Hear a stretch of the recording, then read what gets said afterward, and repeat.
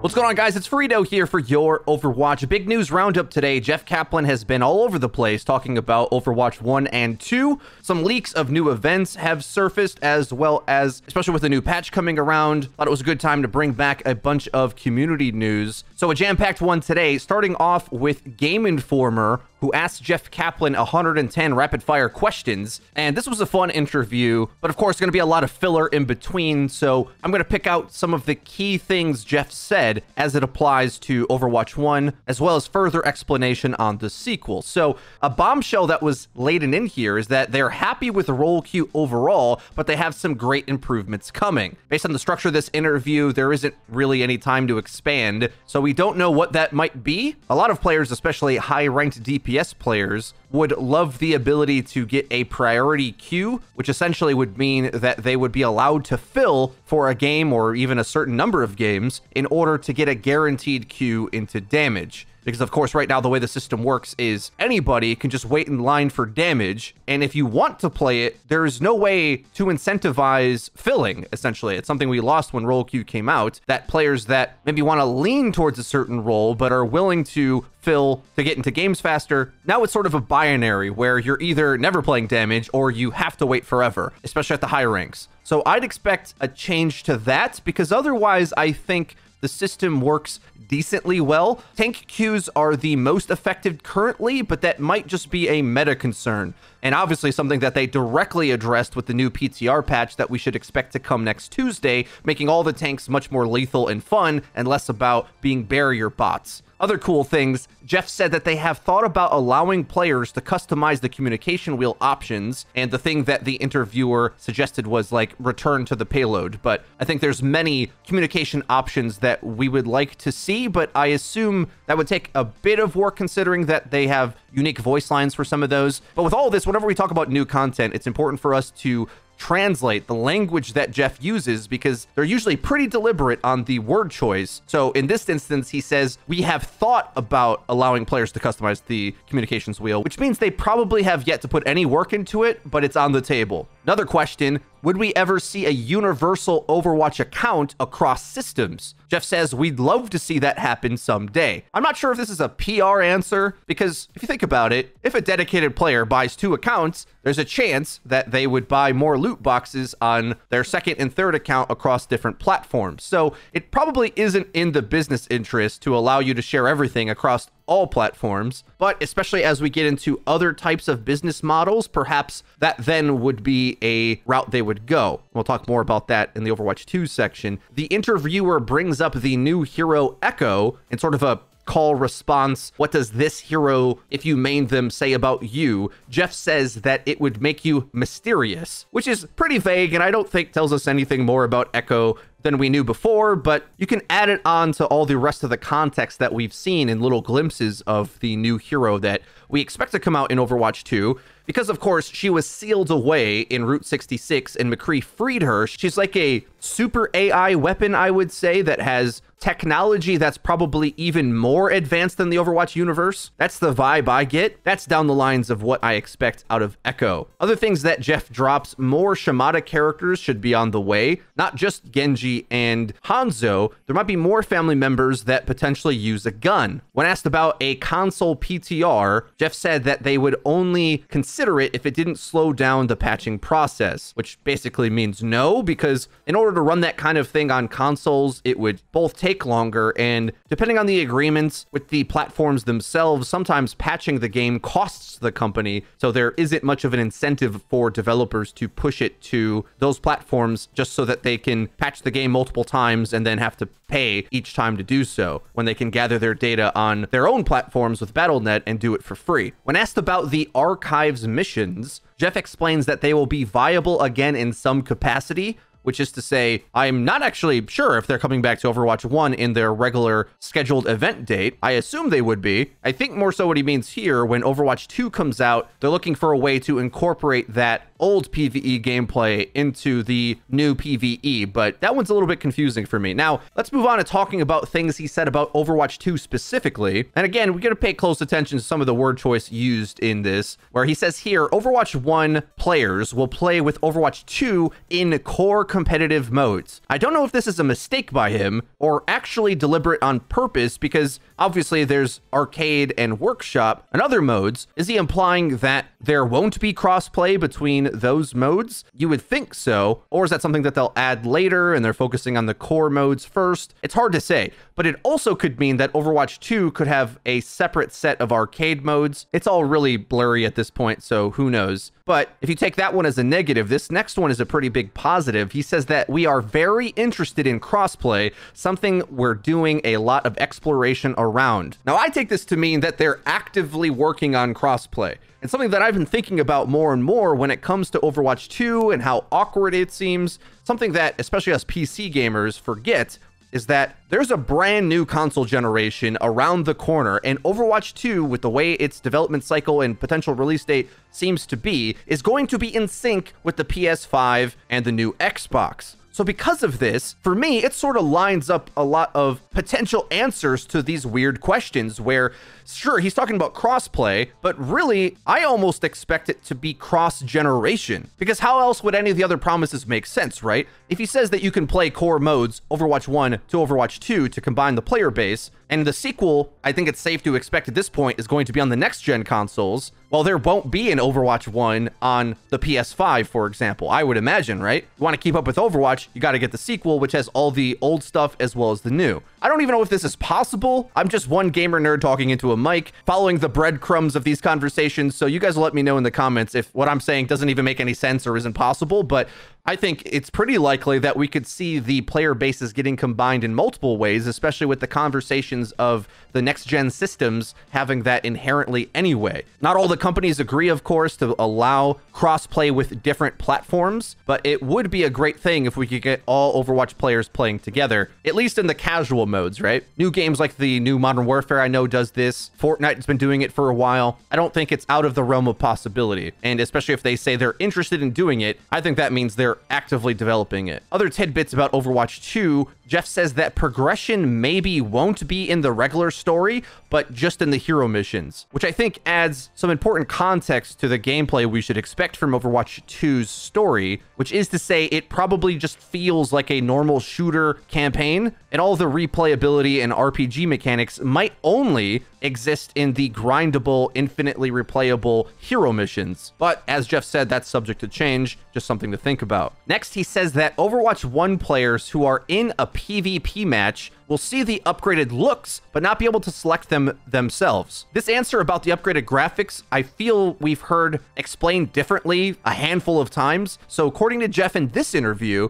if the enemy has a Overwatch 2 Lucio, that's what you'll see. But if you don't have Overwatch 2, you can't select the new upgraded graphics. So with this, I assume only the heroes got a big graphical overhaul and the map design more or less would stay the same because otherwise these rules I don't think make as much sense. When asked about split screen, Jeff Kaplan said that it's highly unlikely. And last up, Jeff explains that they have yet to pick a business model for the new game, so we don't know if it's going to consist of loot boxes, but based on what they're saying, if they were happy with the way loot boxes work, they would just say loot boxes again. But seeing as that progression has kind of fallen off and perhaps could get outlawed one day, you'd expect that Overwatch 2 would consist of something different. Jeff Kaplan also gave a talk at the University of Southern California, and Jaru Pants, who attended the talk and live tweeted some of the key things Jeff said, with some pretty important information, saying they're going to start rethinking the event calendar and possibly retiring some events. He thinks Overwatch 2 should bring in more new events, but you should expect a sort of Sid Meier's rule of thirds, where a third of the content will be new, a third the same, and a third improved. Unclear if this is something we have to worry about in the near future, with Overwatch 2 being years away, potentially, but it makes us wonder what we're going to be getting in that time. I think you'd expect it's fairly easy for them to maintain what they've already been doing, which is to say, not much, just reusing the things they've already made with some new skins. So I think the seasonal events are definitely not going to change, but we should expect more on the story events, which actually we'll speak about more in a little bit. But more from Jeff at the University of Southern California. He talks about balance and the PTR and notes that it's hard to get any useful data on the PTR whatsoever because so few players have played it. The concurrent player peak was only 60,000, and that was for role queue. And also other things that we already know. The player psychology on PTR is different. They don't play properly, which pretty much just gives further evidence of things we've already known about the PTR. They don't really use it to balance because there's no data to be received, really unless something seems egregiously wrong onto the PTR. That's why, like, Moira being able to fade even after being stunned, as if she wasn't going to be strong enough in that patch,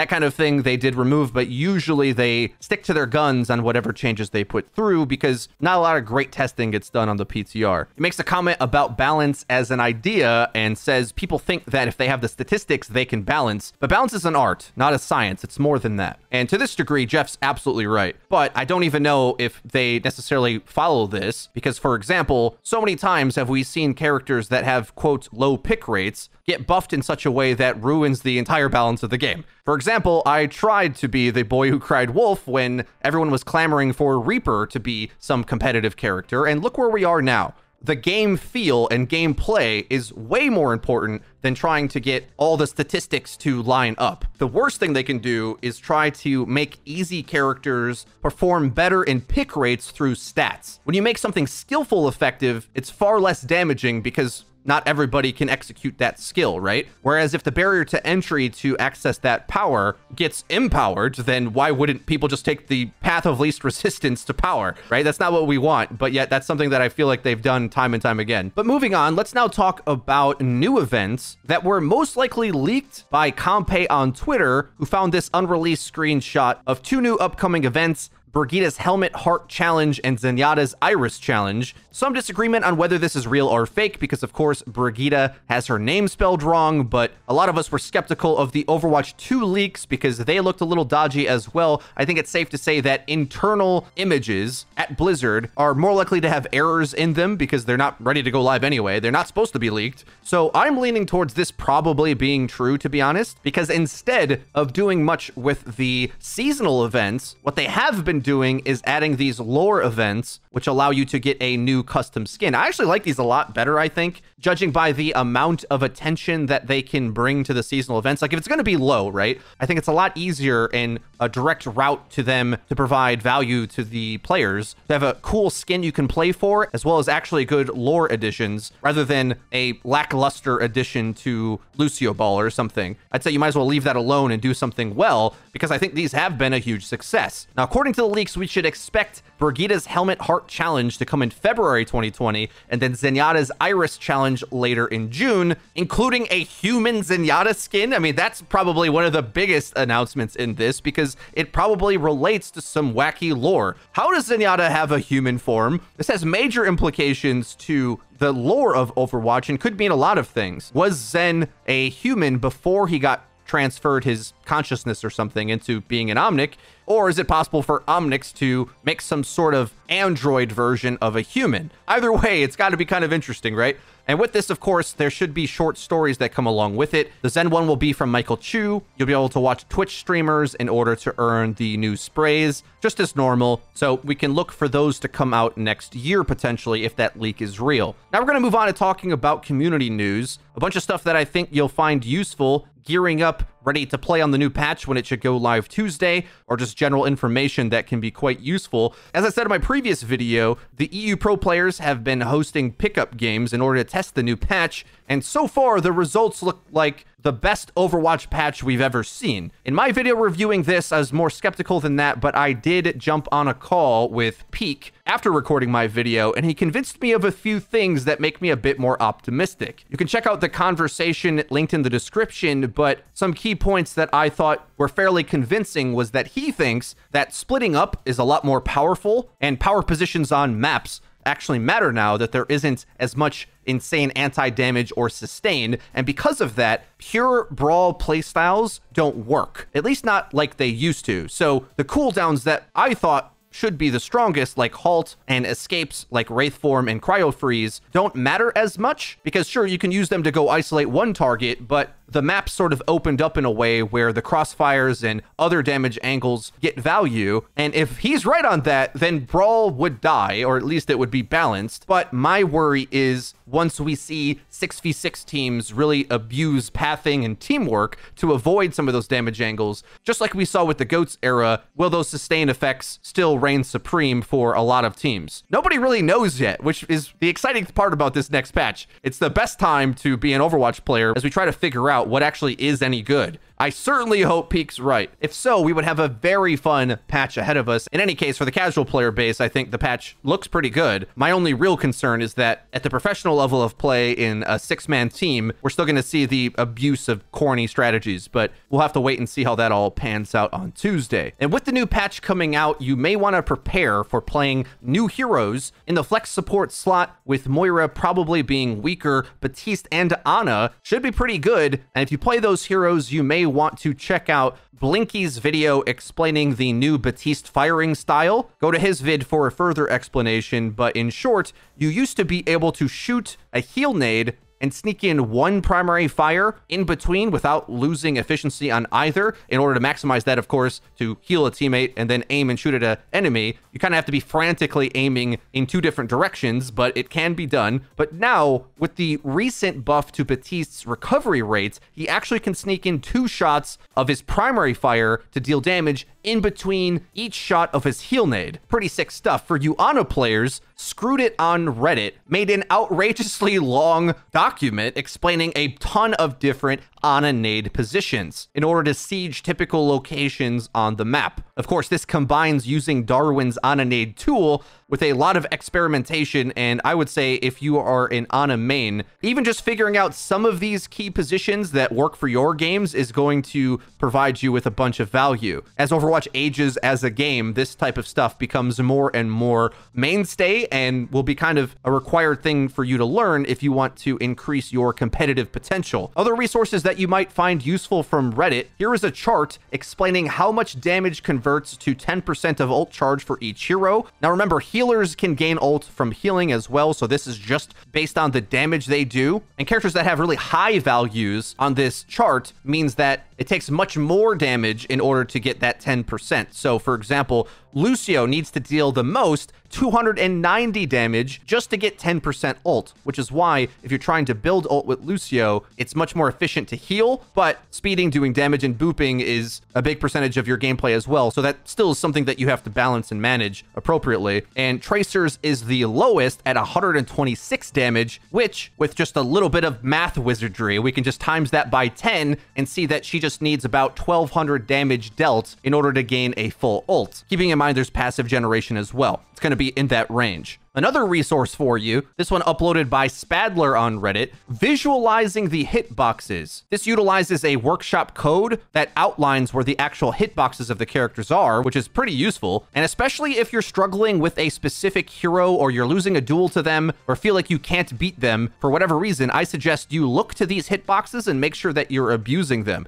For example, Reinhardt's hammer doesn't get counted as a hitbox, but conversely, Roadhog's head is way bigger than the actual model. Same with Ashe, her head hitbox seems pretty massive considering how small her head is. I've always felt that. And one recurring theme that you'll see with skinny characters or squishies is that their legs are quite often bigger. And this is something that we've said as a tip quite a long time ago, but if you aren't aiming for the head, sometimes the best place to aim is at the legs. This has been true of like shooting Pharah, for example, because especially when her legs come together, it makes for a much fatter hitbox. Last few things I wanted to share with you. There is a Doomfist bug that allows his rocket punch to slant diagonally upwards, traveling up a ramp. And until they fix this, this is a pretty insane bit of Doomfist tech that you'll want to be aware of, either to use for yourself or to anticipate those wacky one-hit kills coming from around the corner. Last up for the video, if you've been on Twitter, you may have seen the endless debates about the power level of Moira and how annoying the damage orbs can be. Our friend Samito has been the head of that battle to try to get